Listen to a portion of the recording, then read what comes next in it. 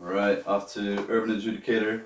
Now this was a spin-off of my Adjudicator series just because I had no more budget to do real Adjudicator stuff and plus after like the near miss with the last one with my blade, uh, basically just like stopped all that sword play in general and all the dangerous stuff. So then we come up with this, bitch better have my money, that's why it basically made it all happen. that track, once I slapped that on, you know, I didn't care about copyright or nothing, but it still got loads of views. Now this is our first time using director mode in GTA 5. And I gotta say, uh, you know, like uh, Mr. Lopez know that he really kind of pulled it out of the hat here. Because, uh, I don't know, I got to basically be me with the voiceover, but it wasn't really me, but then like a big budget sort of setup, and more on that Neo Noir, where it's really me. It's not like Dante from uh, Devil May Cry. I don't know if you guys know the video game series, but that's the mod that we had here in GTA 5. Now this is the old GTA 5 director mode, still just like pretty new graphics not as amazing, all the bloom and all that stuff, the CG not quite there as it is nowadays. Now they have like 4K upscaling, they have everything, it's just mind blowing. The reflections, GI, you know, global illumination, ray tracing, I mean it works. Like serious CG going on there. Um, I had have a car chase here. Um, basically, it's totally turned out different in my new one. But uh, here you go with, you know, they're just winging it really, like with these shots. We're just like getting anything we could. And again, once we had all this, it was super hard to edit down. Now that's always the deal that Mr. Lopez does the CG for me, and then I do like the final editing and stuff. But it's all really like, you know, our concept together. You know, I mean, basically winging it as we did.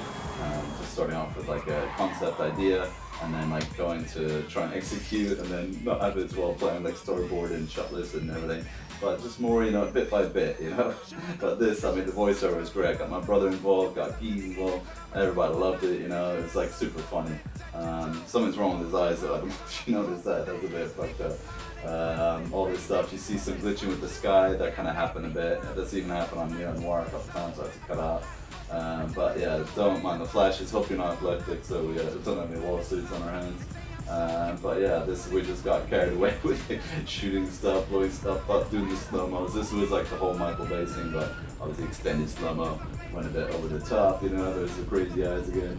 Um, but all these angles we chose, so basically like you you basically record it while you're playing, and then you go back and you edit it. You can edit in the program, or the best is just rendered it out, take it to the editing program, and then edit it properly, put on music, sound effects.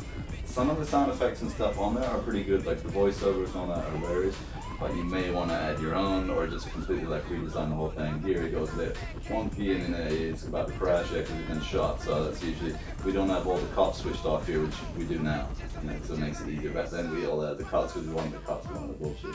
Um, now the ending was just like whack, alright? I didn't really know how to end it, so I just tried to tie it back into the bitch, but I had my money thing, you know, with like, uh, there's a snitch bitch, because um, this is after I did a big film where I nearly get fired because someone snitched on me, so her nickname was Snitch Bitch. Um, I doubt she'll ever see this, so I probably get no lawsuits, you never know. I think this voice uh, for the female was my bro, and I did an extended cut, but in this version I just chopped it down, and this is the one we went with in the end, you know, this was like the final edit. Um, and then oh, the ending, ending, okay, this really didn't make sense. This was just like, okay, I just uh, had to kill like the character off and just like kind of finish, do some weird video game stuff, you know, like some of these videos do. Um, so I just had me like on the voiceover, I just rewrote it like, yeah, walking into the water and like kill myself and suicide. Now that's not how I roll nowadays. Now there's nowhere like, done, I'm the hero now, right? Okay, that's it.